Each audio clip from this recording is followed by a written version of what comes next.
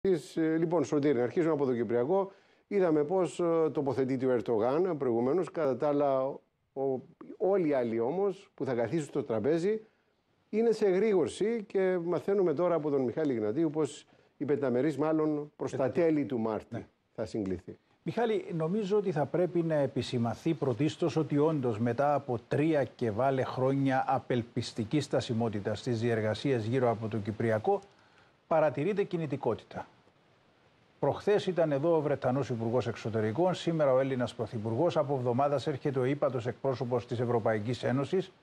Και όλα αυτά εν ώψη της πενταμερούς του Μαρτίου ή του Απριλίου. Η οποία όμως μπορεί να χαρακτηρίζεται άτυπη, αλλά μπορεί να καταστεί στο τέλος και ουσιαστική. θα σταθώ στο σε αυτό που λες. Επί της ουσίας, σήμερα ο πρόεδρος της Δημοκρατίας και ο πρωθυπουργός της Ελλάδας δεν παρέλειψαν να επισημάνουν το αυτονόητο ότι η λύση πρέπει, για παράδειγμα, να βασίζεται στο μέχρι σήμερα επιτελεστέν έργο. Ότι πρέπει να αναζητηθεί σε ομοσπονδιακό πλαίσιο και το νέο κράτος να αποτελεί μετεξέλιξη της Κυπριακής Δημοκρατίας.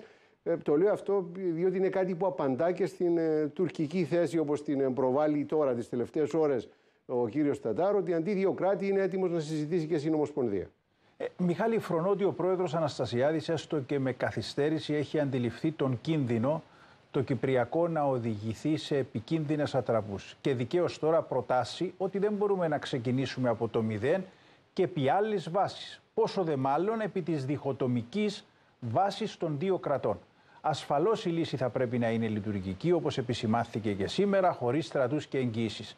Αλλά δεν μπορούν και δεν πρέπει να διαγραφούν τα όσα συμφωνήθηκαν τα προηγούμενα χρόνια. Ναι, την ίδια ώρα Σωτήρη, ο πρόεδρος σήμερα ε, δεν θέλησε να αναδείξει και τον ρόλο της Κύπρου στην περιοχή μέσα από τα διάφορα τριμερή σχήματα όπως είπε χαρακτηριστικά. Εγώ νομίζω, Μιχάλη, ότι θα πρέπει να δούμε το μείζον και κακά τα ψέματα το μείζον δεν είναι οι πρόσκαιρες τριμερείς και τετραμερείς συνεργασίες με γειτονικές ε, χώρες ενίοτε προκαλούν, για παράδειγμα, τριμερή συνεργασία Ελλάδας-Κύπρου-Ισραήλ και από την άλλη τριμερής συνεργασία με η Ορδανία ή τετραμερής και την Παλαιστινιακή Αρχή για να κρατάμε τα μπόσικα. Προέχει να διασφαλίσουμε την παρουσία μας στη γη των γονιών μας. Πρέπει να αποτρέψουμε από το να καταστεί de facto η γραμμή κατοχής σε σκληρό σύνορο με την Τουρκία. Όταν το επιτύχουμε αυτό, τότε ας κάνουμε ακόμη και 20 τριμερείς και τετραμερείς συνεργασίες με τις χώρες της Ιφιλίου. Λοιπόν, Σωτήρης, ευχαριστούμε. Τραβά το σχήνιο Ερτογάν στη